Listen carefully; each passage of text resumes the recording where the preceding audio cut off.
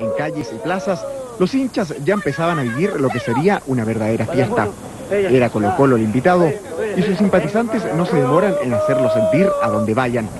Eso sí, todos estaban ajenos a lo que sucedía con la última revisión que efectuaban al estadio Parque Chot autoridades, carabineros y personeros de la NFP, encabezados por el intendente de la décima región, Rabindranath Quinteros. Hasta el mediodía del sábado, el recinto deportivo no contaba con el visto bueno para este trascendental encuentro.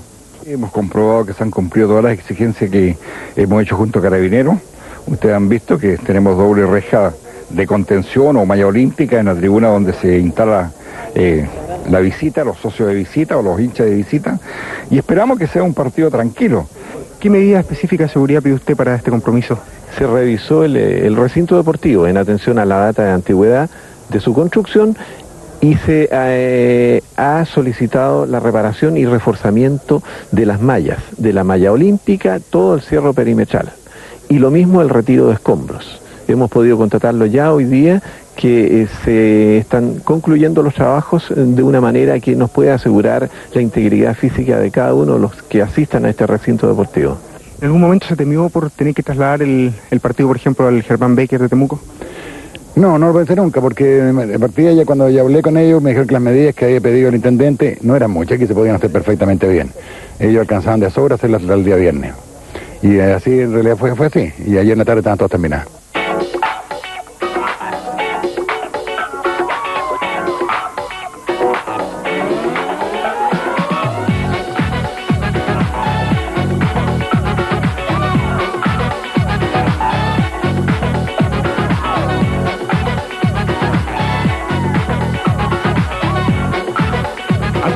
Kilómetros de Osorno, en la hermosa localidad de Frutillar, Colo Colo descansaba de una semana difícil, llena de rumores y que impedían un trabajo con tranquilidad.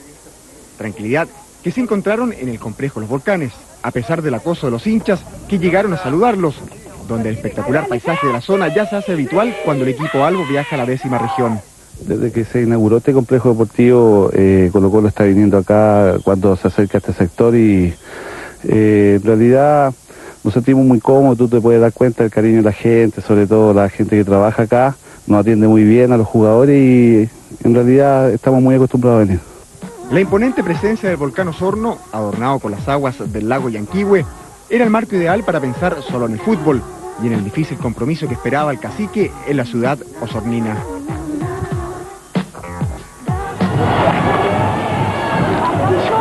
La salida de Colo Colo ante un difícil partido.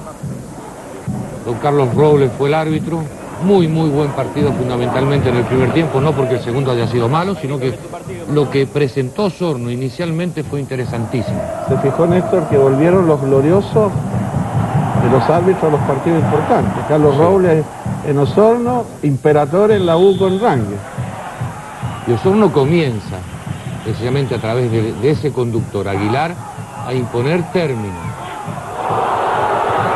Espina en, ese tiro libre apenas, apenas desviado. Está afinando la puntería. Sí. La llegada que comienza en Dosorno, en Nampeña.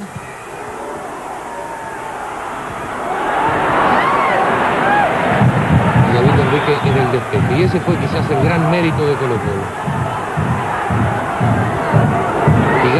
Cabezazo, apenas, apenas desviado. El mérito de Colo Colo, Tito, en el sentido, ahí estamos repitiendo, de que poco a poco, siendo superado, sintiéndose superado por Osorno, poco a poco fue equilibrando el partido como para después pensar en el triunfo. No fue una cosa violenta, sino una cosa absolutamente paulatina. Francisco Arrué que lo intenta. Una palabra de elogio para el escenario, ¿ah? me pareció excelente la cancha y la escenografía en general, gran atacada Gran atajada. Calabrese, el disparo, y Marcelo Ramírez en la primera, porque tuvo otra también importantísima. Jugando buen fútbol, sin golpear, Osorno impuso su juego por muchos momentos. Ahí está la otra, la otra, el otro disparo de Calabrese y la otra contención de Marcelo Ramírez. En la banca de Osorno hay alguien que sabe qué se trata este asunto del fútbol. Marcelo Troviani, uno de los grandes jugadores extranjeros que han actuado en nuestro medio. Preocupado, Gustavo Benítez se lesiona en una rodilla, me parece, ¿eh? Rodrigo, Sangüesa ingresa Wilson Concha. Colo Colo que empieza poco a poco a equilibrar en función, ahí doble chilena, el intento por lo menos, de dos jugadores. Ahí están, precisamente se juntan, Bartichotto y Espina. Falta sobre Marcelo Espina fuera del área, bien Carlos Robles en la aplicación y vean, una obra realmente de arte de Marcelo Espina. Caputo pensó que iba el centro al segundo palo y al ver que tenía esa esquina para un derecho es absolutamente ilógico, dificilísimo hacer lo que hizo Marcelo Espina, poner la pelota ahí en el primer palo. Caputo trata de reaccionar, pero no la, llega. La comba va de afuera hacia adentro. La pelota, cuando va en la mitad de la trayectoria, está fuera del arco y después se mete ya en el arco. Un golazo. Para un zurdo era ese sector. Oiga, qué, qué partido que jugó Marcelo Espina. Ahí está, mete una pelota en profundidad a Tapia, sale Caputo, la manotea para que Tapia no alcance. Aquí estaba absolutamente claro por qué Caputo la manotea hacia adelante. Y ahí Francisco Arrué no tiene problemas con su pierna izquierda para conquistar el segundo gol para Colo Colo y dar la tranquilidad que estaba buscando Colo Colo y que ya a esa altura por momentos merecía. Ahí está el autor del gol en FST. Fue como el golpe gracias ese gol, ese tanto. ¿eh? Claro, el 1-0 todavía tiene la esperanza permanente, pero el 2-0 ya dificulta más las cosas sabiendo que Colo Colo... Sí, aquí hay dos cosas para destacar. La jugada de Aguilar y atención, la entrega de Espina es no tener temor al ridículo en aras de jugar para el equipo. Y logró, ahí estamos repitiendo, logró hacer el centro porque Espina, ahora lo vamos a ver, ahí cuando se repone, ahí resbala. Si no, no hubiese salido al centro, que es la parte defensiva interesante de esa acción.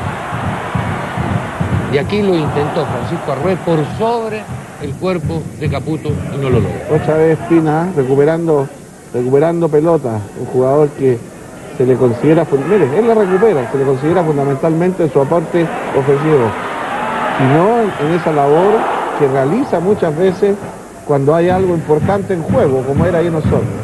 Cuidado, yo dije Batichotto, Espina, importantísimo, está el penal sancionado. Caputo a Francisco Rojas, pero hubo jugadores interesantísimos en Colo Colo, todos. Y ahí Héctor Tapia, que no acierta con el penal y se ve que... Pero la jugada continúa y ahí sí Espina. En segunda instancia coloca la pelota muy... Ahí estamos repitiendo toda la acción. Un rechazo muy, muy defectuoso. Tercer penal que no se le va a. Ahí está el, el rebote, el rebote otra vez y ahí sí la coloca Marcelo Espina con la calidad, la inteligencia y la técnica que siempre cuenta Colo Colo a través de este gran jugador.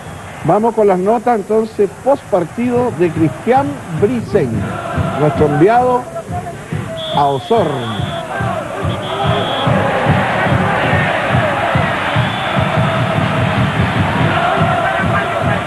Una hora y media antes del encuentro, el cuadro Osorno llegó al Parque Chot.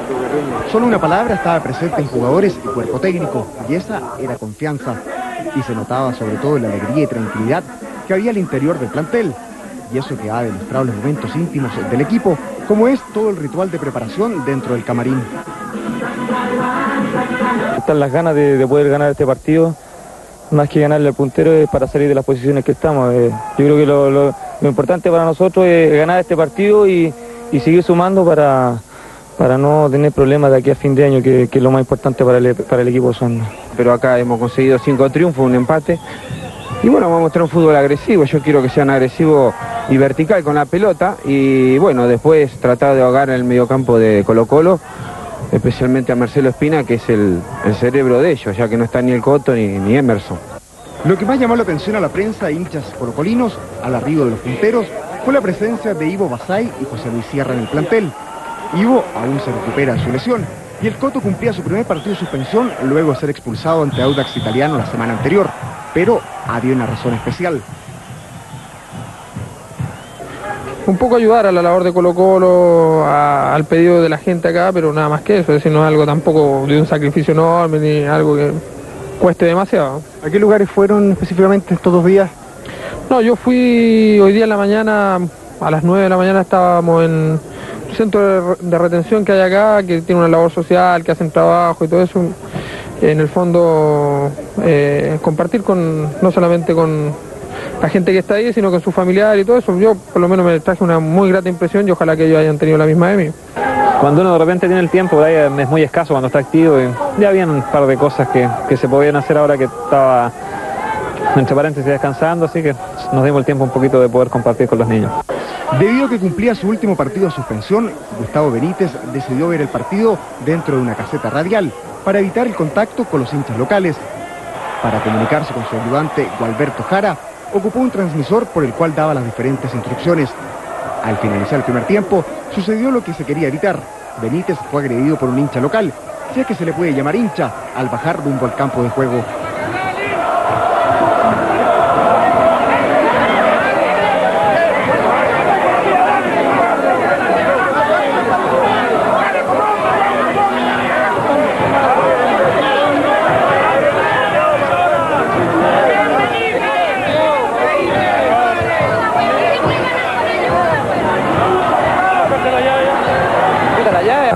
Pasó en las tribunas, Gustavo? ¿Tuvo algún problema? Nada, no pasó nada.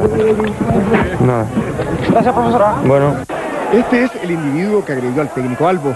Realmente no sabemos qué hace este tipo de gente en un estadio. Antes de iniciar la segunda atracción, Benítez eligió ubicarse en un lugar más cercano y evitar caminar entre los hinchas locales. Del triunfo Albo solo se puede decir que los primeros 20 minutos de juego vio peligrar este resultado, cuando Sorno presionó con todo y se creó las mejores oportunidades de gol, como estos dos disparos de Cristian Calabrese, que fueron tapados por Ramírez. Lamentablemente tuvimos cuatro o cinco ocasiones de gol, ¿no? Dos tapadas estupendas que me hace Marcelo Ramírez a mí. Y bueno, cuando perdonás a los equipos grandes, eh, como lo hicimos nosotros, nos llegó sobre la hora Colo Colo con un tiro libre y lamentablemente nos fuimos de ventaja. Nosotros sabíamos que mientras aguantábamos esos 15 o 20 minutos, después del partido se nos podía quizá resolver para nosotros, ¿no? Y fue lo que hicimos. Tratamos de aguantar esos minutos y después pudimos manejarlos inteligentemente. Punto aparte merece la gran actuación del capitán de Colo Colo. Anotó dos goles y participó directamente en el otro. Si los hinchas del líder temían por las ausencias de José Luis Sierra y Emerson, Marcelo Espina hizo que ese miedo solo estuviera presente en los primeros minutos. El gol de tiro libre? ¿Pensó colocarla ahí o pensó ir al centro? No, en, primera instancia eh, pensábamos hacer una jugada con Bartichotto eh, y le hice la seña que no porque no entraba. Nosotros tenemos tres, cuatro jugadas de pelota parada preparada de cada sector eh, y no entraba, la jugada no iba a entrar porque se nos había puesto un jugador en la mitad de camino y después ya me había tirar el centro pero tenía la mente fija de que le iba a patear al arco.